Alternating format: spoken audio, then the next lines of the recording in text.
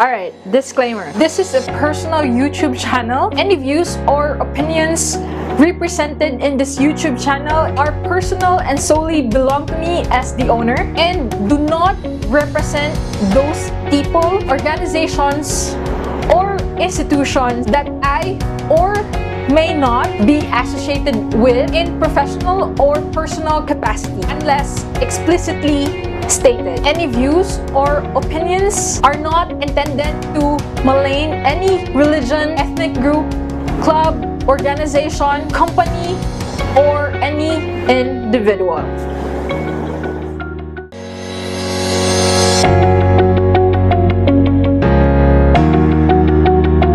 Let's go now to the EIA process.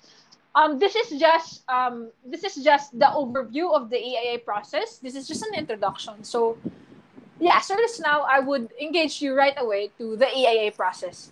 So first one or the phase one is the initial inquiries, um, in which um, this is the part that you will understand the proposed activities of the specific study that we will be doing, and of course conduct a preliminary assessment if needed. Um, and then um, our focus uh, by phase one is actually more of the initial requirement uh, inquiries, initial inquiries, and then after that is the phase two is the full EIA study or the EIS report. However, um, I would like to tell you that not all um, activities or not all outputs needs a full EIA study. That is why, again, um, the screening is very important because there are possibilities that the activity or your certain project that you are doing does not require a full EIA. Maybe it will it will only require IEE or initial environmental um, examination, or it would only require um, project description. So again, that is um, the screening part is very important. However, if in phase two, if the project that uh, you we will be doing would require a full EIA, then this will be the process. So of course, we will do the scoping, the public scoping, uh, evaluate the baseline uh, situation, and then identify and choose alternatives. Um, and then after identify and characterize um, the potential impacts of the proposed um, activity and each uh, and each alternative, and then develop mitigation and monitoring, and um, of course um, communicate and document. If we are going to uh, elaborate on the phase one of the EIA process, basically this is the process. So first is you have to understand the proposed activity. Why is the activity being proposed? You have to understand that. And of course, what is being proposed. And then after that, uh, we will screen the activity. So based on the nature of the activity, what level of environmental review is indicated. And then after that, um, activity is um, is of moderate or maybe unknown risk. Um, it depends on the um, on the screen activity. After that, we will conduct a preliminary assessment. So we will we can actually do a rapid simplified EIA study using simple methods, uh, simple tools like IE, as I said earlier, the initial env- uh, environmental examination.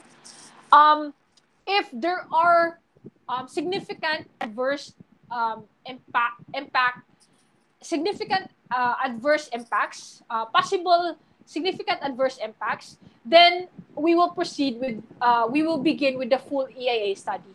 However, if after the after um, the preliminary assessment, if um, the significant adverse impacts are very unlikely, then therefore we can stop the EIA process. And then um, if we stop the EIA process, then we will not proceed with the phase two, or we will not proceed with the full EIA study in which, as I said earlier, the screening of the activity is very important because we will know if the activity is it would have a low risk or it would have a high risk. So when we say low risk, it means um, um, um, there is a very unlikely um, uh, unlikely to have a significant adverse impacts or if we if there is a high risk um, then it means that there is likely to have a significant adverse impacts. If there is again a significant adverse impacts, then therefore we will proceed with the phase two or the full EIA study. All right. Any questions so far with the EIA process? This is just an overview. This is just, you know, on, the bird's eye view. You have any questions so far?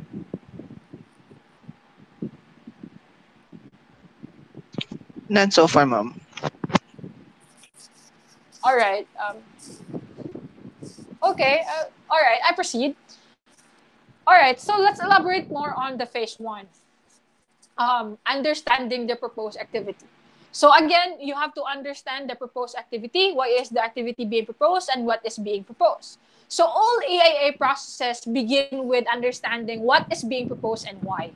And the question is, why is the activity being proposed? Should be answered with a development objective.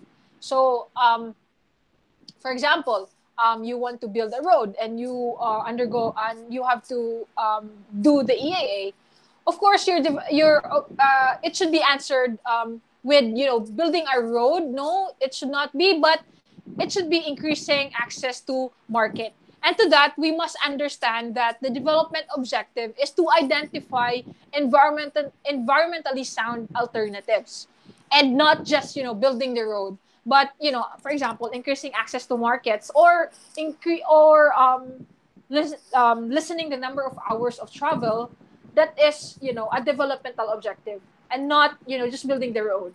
So, yeah, so it's like, you know, so what if we are going to build a road? What is the you know the the highest outcome of that in, in building the road? So what if we're going to build the road? So it would be better or it would be um, your eis report will be accepted by the EMB-DENR if you will have a development objective in which an example increasing access to markets or increasing or decreasing the number of hours of travel. All right so next is um, once we understand um, the development objective, we must fully understand what is being proposed. So of course, this um, includes associated actions. For example, the primary activity is um, the construction of diversion dam and irrigation canal. Of course, the associated activity is survey. Of course, we always do the survey. I know you know that. And then, of course, we have to negotiate land tenure if there are lands that are privately owned, um, construct uh, borrow pit, um, establish construction camp, construction temporary diversion uh, structure, and dispose of soil or debris. So, um, again, the primary activity is always associated with um, actions or secondary activities, uh, in which, again, um, for us to fully understand as to what is the study is about or what are we go, uh, what are we proposing, we have to understand also the associated actions. And after that, of course, again, the most important part um, in, in, in EIA study or EIS report is screening the activity. Um, in which this is actually based on the nature of the activity and what level of environmental analysis, analysis is being indicated. So again, um, screening is the process of asking the very basic set of questions about the nature of activity. So um, these questions like do not require analysis is um, um, not um, applicable. And the, these questions like do not require detailed knowledge about the proposed size, techniques, or method that is not um, accessible as uh, part of the screening. So example of screening question should be, um, does, uh, does the activity involves penetration road building? Does it involve large scale irrigation? Or does, uh, does it, um, is there any introduction of non-native crop or agroforestry species? So we have to do the screening first of the activity that we are proposing. Also, part of the screening, the activity or part of the screening is um, categorizing the risk. Um, yeah, categorizing the risk. So does it have any, um, is the risk low or is the risk very high or it's moderately uh, high or unknown risk. So if it's a very um, low risk, definitely the EIA process ends, or maybe it will not go to um, to the phase two of the full EIA study. If it has a very high risk, then therefore we need to do a full EIA study. If it is unknown, or if the the risk is unknown or moderate, uh, we will do a preliminary assessment. So the outcome of the screening um, process determines the next step in the EIA process. So of course, um, during the screening activity, um, each donor uh, donor agency, excuse me, and national EIA law has its own excuse me has its own um, set of screening questions um, in which um, later on um, we will be focusing our our discussions on the Philippine settings when it comes to EIA. And at the same time, screening is the topic of an um, um, in, uh, actually um, on not on the next module but on the next chapter of our activity, we will actually discuss more on the screening part. All right. So let's go now to the um, next phase, which is the preliminary assessment. So again, um, conduct a preliminary assessment. Um, um, on some cases, we can do a rapid or simplified EIA, EIA study um, using simple tools like IEE. Um, but um, on um, on a moderate or um, a known risk, then therefore we really have to conduct the preliminary assessment. Actually, almost all study, uh, preliminary assessment is very needed before exactly doing um, the activity or the proposed study. Just like um, when we do our thesis, um, most of the time, our panel members or our test advisors would require us to do a preliminary study or a pre- preliminary assessment.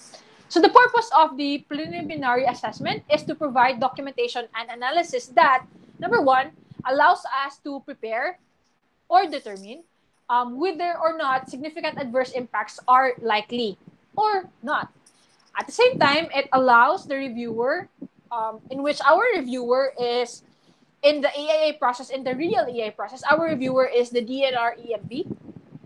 So allows the reviewer to agree or disagree with the preparer's uh, determinations. And of course, it sets out um, mitigation and monitoring for adverse impacts. So on the preliminary assessment, we can already identify what are the major risks um, or the major impacts. And at the same time, on the preliminary assessment, we can already input as to what will be our uh, mitigating or monitoring um, design or monitoring activities as to the adverse impacts of the study. That is how important our preliminary assessment. So um, typically, pre- preliminary assessment outlines is, you know, we have the background, or uh, which will consist of our development objective and list of uh, activities. And of course, we also have our description of the baseline situation. And um, we also have our evaluation of potential environmental impacts. Um, and then we have our mitigation and monitoring, and of course, the recommended findings. These are the five major um, components of our typical preliminary assessment outline. So of course, for each activity, it covers a preliminary assessment and um, possibly has three possible findings. Like, for example, the project is very unlikely to have a significant adverse impacts. So therefore, EIA process ends. Um, with specified mitigation and monitoring, so the project is unlikely to have um, significant adverse impacts.